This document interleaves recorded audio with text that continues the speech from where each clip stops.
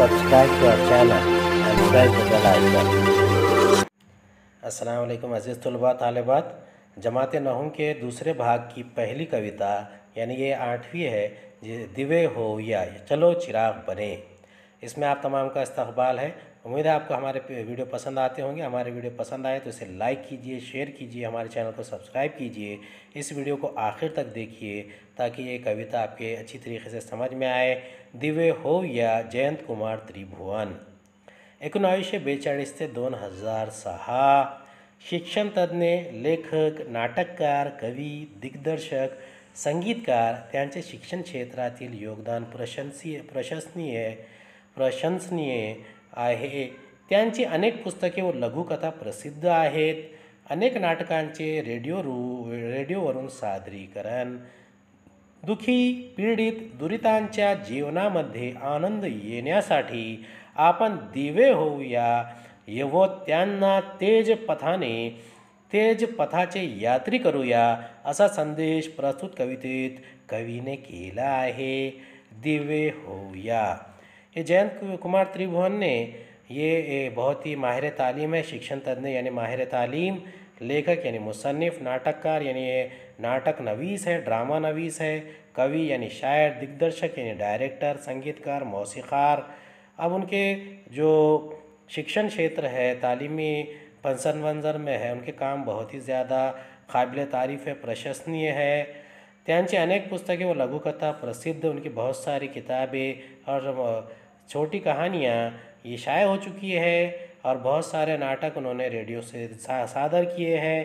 दुखी पीडित दुरितांच्या जीवनामध्ये आनंद येण्यासाठी आपण दिवे होऊया व त्यांना तेज पथाचे यात्री करूया असा संदेश प्रस्तुत प्रस्तुत कवितेत कवि ने केला है कवि इस कविता में कहते हैं कि जो दुखी है, दुख दर्द में लिप्त है उनके, उन दुख दर्द को दूर करना है, ज़िंदगी में खुशियाँ लाना है, उनके लिए रोशनी का मीनार बनना है और उनकी जो ज़िंदगी है, उसमें तब्दीली लाना है। ऐसा इस कविता से संदेश देने की कोशिश कवि वर्रे त्रिभुवन, जयंत कुमार त्रिभुवन ने दी है। चलिए पहले इसका वाचन करेंगे, फिर इसे समझने की कोशिश करेंगे, इसके शब्दार्थ देखेंगे। दिवे उजळता दिवे होऊया दिवे उजळता दिवे होऊया जळता जळता जग उजटूया.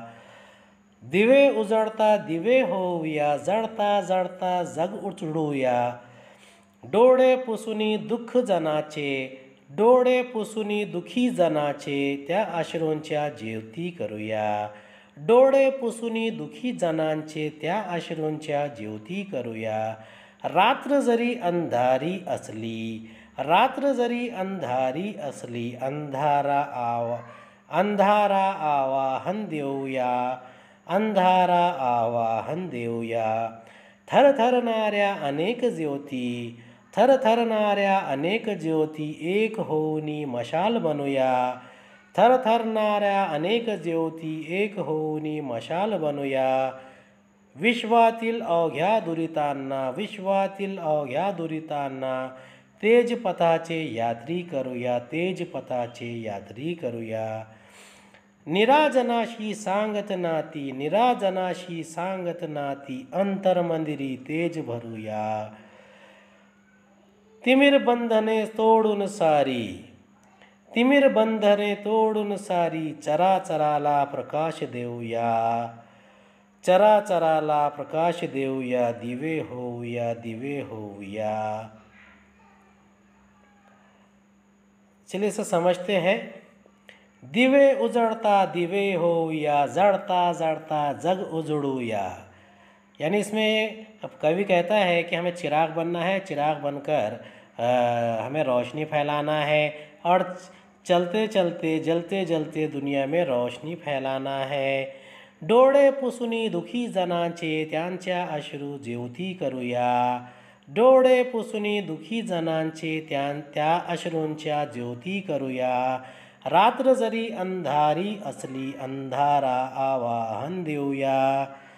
इसमें कहता है कवि कि आँसू पोछ कर दुखियारे लोगों की, उनके आँसू को पोछना चाहिए, दुखियारे लोगों के दर्द, गम दूर करना चाहिए। उनके आँसू को हम रोशनी का मीनार बनाए और रात अगर अंधेरी है तो भी क्या हुआ? इस अंधेरे को हम ललकारे आवाहन दे और उसमें उजाला करे। थर थार नार्या अनेक ज्योति, थर थर नार्या अनेक ज्योति, एक होनी मशाल बनुया। अब इसमें कवि कहता है कि जितनी भी ज्योति है, यानी जो रोशनी की जो बत्तियाँ हैं, वो कांपती है थर थर काँप रही है, लेकिन वो एक हो जाए तो एक मशाल बन सकती है। विश्वातील अवघ्या दुरितांना विश्वातील अवघ्या दुरितांना तेज पथाचे यात्री करूया। दुनिया के तमाम अंधेरे में रहने वाले तमाम गुनहगारों को एक रास्ता बनाना है, रोशनी की किरण बनना है, और रोशनी के रास्ते पर चलाना है। हम उसके मुसाफिर बन जाएँगे, यात्री बन जाएँगे। निराजनाशी सांगत नाती अंतर मंदिरी तेज भरूया। निराजनाशी सांगत नाती अंतर मंदिरी तेज भरुया। तिमिर बंधने तोडून सारी चराचराला प्रकाश देऊया।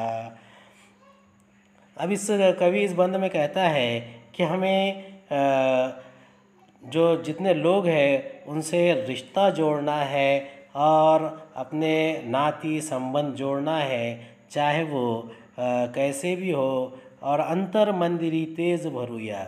यानी उनके दिलों के अंदर उनके रोशनी भरना है तेज भरना है। तिमिर बंधने तोड़ुन सारी चरा चराला प्रकाश देवया यानी अंधेरे की तमाम पाबंदियाँ तोड़कर हमने हर आ, हर कोने से हर एक को चाहे वो इंसान हो, जानदार हो, जानवर हो, सबको हमने क्या करना है? रोशनी देना है। ऐसा इस कविता में कवि कहते हैं। अब इसके उजड़ता के मायने होते हैं रोशनी देना, जन यानी लोग, अश्रु, आँसू, आवाहन यानी ललकार, विश्व, दुनिया, अवज्ञा, तमाम दुरित गुनहगार, तेज रोशनी पथ यानी रात राह रास्ता, यात्री यानी मुसाफिर, निराजन, आरती यानी चिराग अंतर मंदिरी ये दिल के अंदर की बात को कहते हैं। जैसे दिल को अक्सर खलबे जिगर को कहते हैं, दिल के अंदर की बात। तिमिर यानी अंधेरा, चराचर चराचर चरने वाले, चरिंद परिंद, उसके लिए ये लफ्ज़ इस्तेमाल किया गया है। उम्मीद है ये वीडियो आपको पसंद आया होगा। अगले वीडियो में दोबारा मुलाकात होगी। खुदा हाफिज़।